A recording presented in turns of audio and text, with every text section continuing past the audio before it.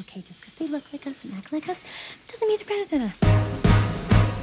Times have changed, and we've often rewound the clock since the Puritans.